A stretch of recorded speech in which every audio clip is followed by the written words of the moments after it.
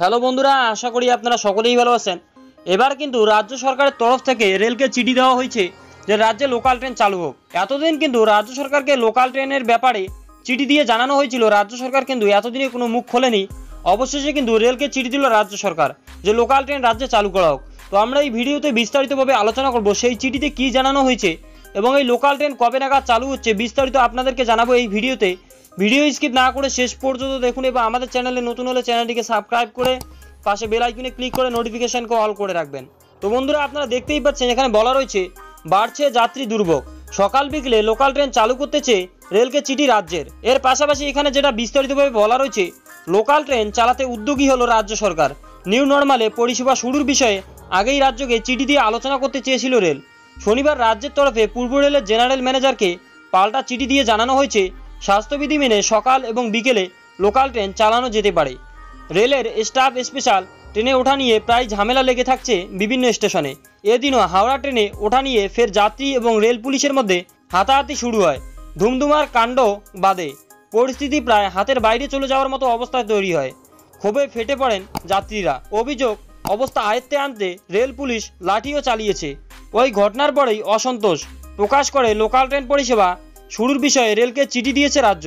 তবে চিঠিতে বলা রয়েছে, লোকাল ট্রেন চালু হলেও কঠোরভাবে মানতে হবে স্বাস্থ্যবিধি। তবেই লোকাল ট্রেন চালানোর বিষয়ে রাজ্য তাদের অনুমতি দেবে।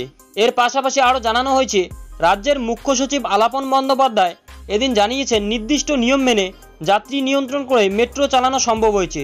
সেরকম কোনো মডেলের মাধ্যমে লোকাল ট্রেনও চালু করা যেতে পারে। পূর্ব রেলের জিএমের কাছে সেই মর্মে চিঠি দেওয়া হয়েছে। নিত্য লোকাল পরিষেবা শুরুর জন্য আগে থেকেই প্রস্তুতি নিয়েছে রেলের। বিভিন্ন স্টেশনে যাত্রীদের জন্য বিশেষ গোলাকার চিহ্ন করা হয়েছে, যাতে ট্রেনে ওঠার আগে তারা পরস্পরের থেকে সামাজিক দূরত্ব বজায় দাঁড়াতে পারেন। টিকিট কাউন্টারের সামনে দাঁড়ানোর জন্যও বিশেষ ব্যবস্থা নেওয়া হবে। এদিন রাতে রেলের এক কর্তা বলেন, চিঠি পৌঁছেছে। দুপক্ষের আলোচনার পর পরিষেবার বিষয়ে সিদ্ধান্ত নেওয়া হবে। লোকাল ট্রেন চালানোর বিষয়ে রেলকে পাঠানো চিঠিতে নিত্য যাত্রী ভোগান্তির কথা উল্লেখ করা হয়েছে।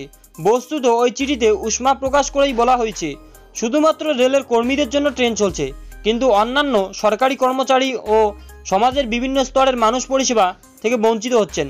রাজ্য গণপরিবহনের ক্ষেত্রে অন্যান্য মাধ্যম চালু হয়ে গিয়েছে। শুরু হয়েছে বিমান পরিষেবা, কিন্তু রেল শুধু তাদের কর্মীদের জন্যই পরিষেবা চালাচ্ছে। এদিনের ঘটনায় যাত্রীদের উপরে রেল পুলিশের লাঠিচার্জ এবং সামগ্রিকভাবে রেল পুলিশের ব্যবহার নিয়েও অসন্তোষ প্রকাশ করা হয়েছে রাজ্যের তরফে লেখা চিঠিতে। আরও জানানো হয়েছে এখন দেখার লোকাল ট্রেন পরিষেবা চালু করার জন্য রাজ্যের সঙ্গে কবে আলোচনায় বসে রেল? এও দেখার যে এই আলোচনায় কি কি সমাধান সূত্র বেরোয় এবং তারপর কবে থেকে লোকাল ট্রেন চালু করা হয়? প্রসঙ্গত হাওড়া এবং শিয়ালদা স্টেশন দিয়ে লোকাল ট্রেন রোজ লক্ষ লক্ষ যাত্রী যাতায়াত করেন। ফলে লোকাল ট্রেন চালু হলে তাদের যেমন সুবিধা, তেমনি স্টেশনে এবং ট্রেনে বহু হকার ব্যবসায়ীদেরও রুজি রোজগারে সুরাহা দিতে পারে। তবে নিউ নর্মালে হকার বা ছোট ব্যবসায়ীরা আগের মতো ব্যবসা করতে পারবেন কিনা, তাও দেখার। তো বন্ধুরা, আপনারা বুঝতেই পাচ্ছেন, রাজ্য সরকার তরফে কিন্তু লোকাল ট্রেন চালু নিয়ে রেলকে চিঠি দেওয়া হয়েছে। তো বন্ধুরা, আপনারা বুঝতেই পাচ্ছেন, চিঠিতে যেটা বলা রয়েছে লোকাল ট্রেন চালু হলেও কিন্তু কঠোরভাবে মানতে হবে স্বাস্থ্যবিধি। তবেই কিন্তু লোকাল ট্রেন চালানোর জন্য রাজ্য সরকার তাদের, অর্থাৎ রেলকে কিন্তু অনুমতি দিবে।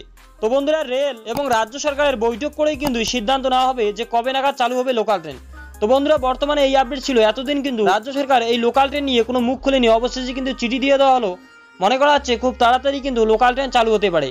তো বন্ধুরা, এই আপডেট ছিল। ভিডিও ভালো লাগলে লাইক করবেন, বন্ধুদের সাথে শেয়ার করে তাদেরকেও জানানোর চেষ্টা করবেন। এই রাজ্য সরকারের চিঠি দেওয়া নিয়ে আপনার যদি কোনো মতামত থাকে অবশ্যই কমেন্ট করে জানাবেন। এবং আমাদের চ্যানেলে নতুন হলে চ্যানেলটিকে সাবস্ক্রাইব করে পাশে বেল আইকনে ক্লিক করে নোটিফিকেশনকে অল করে রাখবেন।